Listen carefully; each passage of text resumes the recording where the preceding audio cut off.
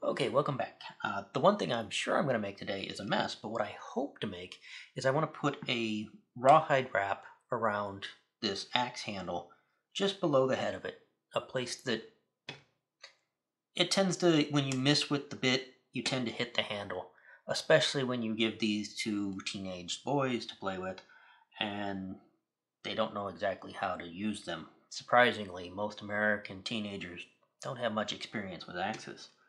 Uh, but I want to use a rawhide lace to wrap it and tie a knot, like I would use on a lot of other handles around here. But I want to use rawhide because it's very durable. Now, we're not to this part yet. We're to the rawhide lace. So rawhide is a very stiff plastic-like material. It's not really leather. It's leather adjacent. It is the hide of the animal, of this case a cowhide, that is just raw. It's had the hair removed from it, uh, and then it's been fleshed to take off any membrane and, you know, remaining animal bits that aren't skin. And then it's just stretched out and dried, and in this case, it's been bleached. This is a bleached rawhide. Uh, natural rawhide is um, more translucent than this. And I get it in sheets like this. It is, like I said, kind of plastic-like in consistency. Which means it's not easy to cut, but if you soak this in water for about 10 minutes, it becomes completely flexible as if it just came off the animal. And then you can cut it just like you would a piece of leather. It's a little harder to cut, a little bit trickier, but not too bad. But our first step, and where we're probably going to really make a mess, is I want to dye this a different color. I don't want it to be just the rawhide, bleached rawhide color. I want something that's a reddish brown. And to do that, I'm going to get some hot water in a jar. And I'm going to use clothing dye. In this case, um, a red and a brown. The brown's a powdered dye and we'll see what that does when we soak it. Again, we'll have to soak it for quite a while in a jar of warm water with the dye in it to try and color the lace. Now, one of the reasons I'm not sure about my chances of getting this successfully done is that rawhide is a little trickier to work with than leather, and it's been a few years since I've done so. So it'll take a little bit, and maybe a couple tries. We'll see if I can get it done.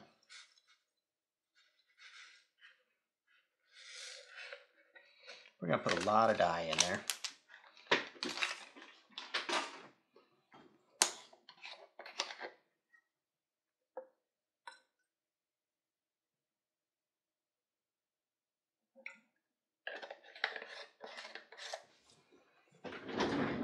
One of the world's nastiest wooden spoons to stir it up.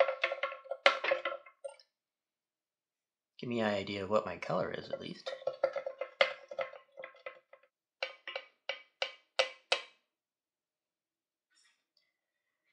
We'll call that a nice mahogany color. That's pretty good. Alright. And we're just going to stuff our lace in there and let it soak. Could be a bit to stuff it in this jar, but it'll come out easier than it goes in.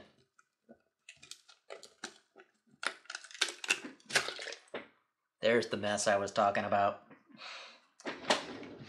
Okay, this stuff has been soaking for, oh, I don't know, 10, 15 minutes. I haven't really been keeping track. Um, it's a nice even color for the most part. There's a few spots that might be a little lighter, but it looks like it's pretty much all even. Nice dark reddish brown that I was trying for.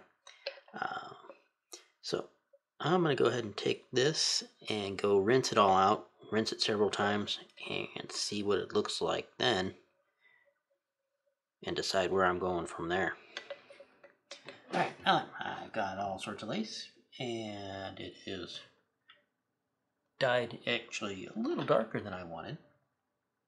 Probably lighten up as it dries. We'll see about that in the long run. It doesn't matter if it winds up this dark, that's good. Um,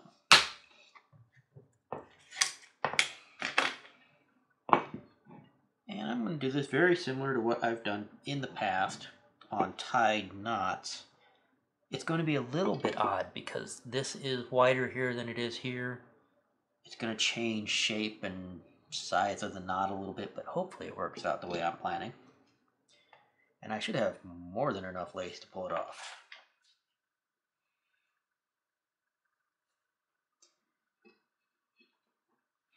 It is a little trickier on rawhide to tell which side is the flesh side and which side is the grain side of it. Um, it's very similar to leather in the fact that it has a, a split side and the flesh side is rougher than the grain side, but it's harder to see it. And we're going to wrap, I want about three of the widths of the lace between each one that I wrap around.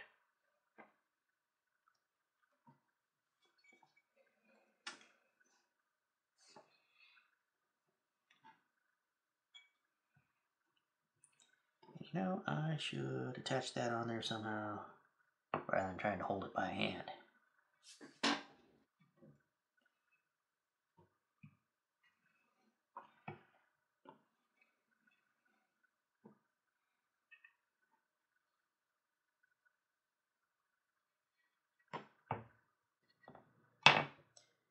And we're going to go around the top and back down.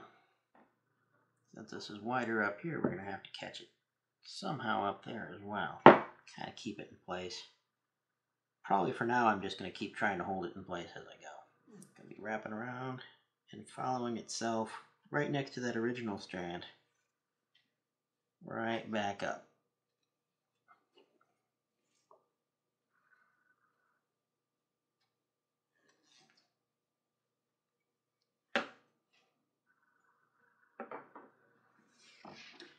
and I am going to start weaving it.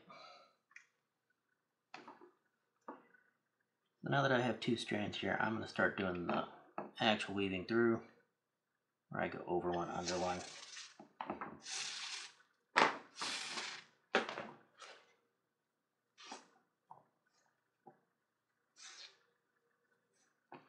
It's a little bit different than working with leather. It's more rubbery in a lot of ways than leather is.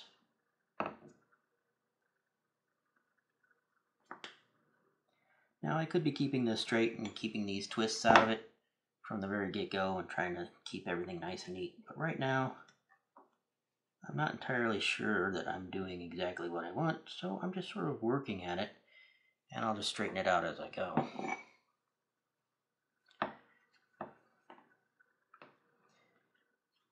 One other difference with working with rawhide as opposed to leather lace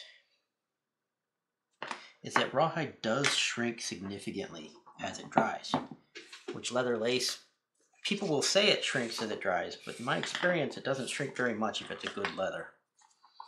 Um, as a matter of fact, I've even had it wind up loose after it's dried compared to when it was wet. But rawhide is where that idea comes from. And it does shrink pretty significantly as it dries. Uh, not just in thickness, also it'll tighten up as it shrinks in length. So you want to pull rawhide snug and get it in place. But if you pull it really tight, it may actually break on you as it um, shrinks there is kind of a sweet spot for working with it that I'm not at right yet. Where if you soak it and then you let it sit and dry for long enough, it becomes more leather-like to work with. But I'm not really at that point. So it should be over, under, over, under, over, then over, under, over, over, and it's going to be, yeah, a little bit weird. But pretty much, I'm just going to go by what the previous strands look like next to it, and try and make it look right. I may have something completely messed up, and I may have to take it all out and try again, but more than likely I'm not going to. Because this is not a project that needs to come out perfect what I'm going by on all these knots is once I've following next to a strand, I follow it back down, and I'm looking at the strands it's crossing over. And if they're underneath, I need to go underneath of them.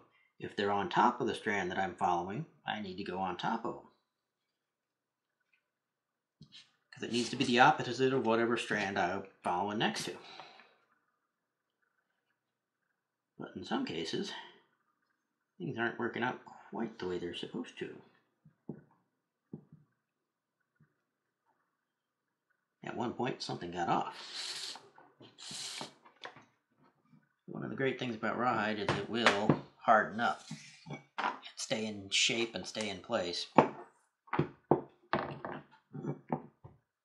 And I'll probably be the only person that really knows where the mistakes are, except for y'all that are watching this video. There we are.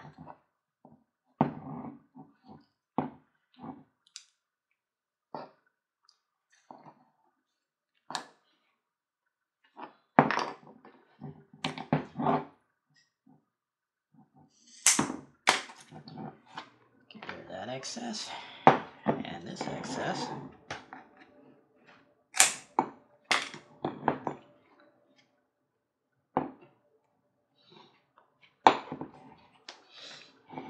Now I am going to still pound this with a mallet like I would normally do or with my cobbler's hammer. Um, but then I've got to let it dry at least overnight, probably a couple days, before this really shrinks down and tightens up. But right now, while it's still pliable, I'm going to do as much shaping and forming and fiddling with it as I can. Because after that, I'll be stuck with it.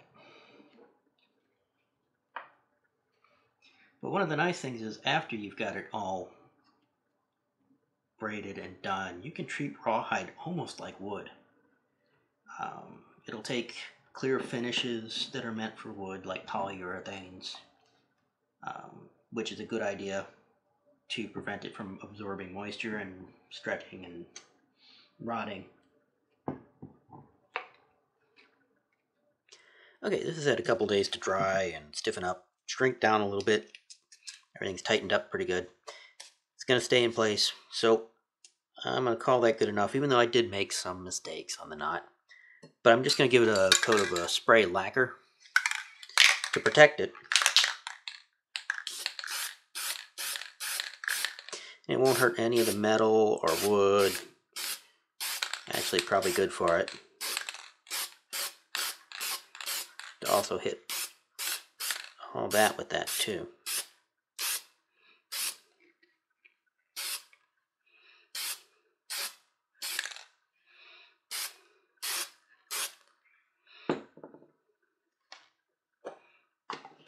And one of the advantages of lacquer is that it dries really quick.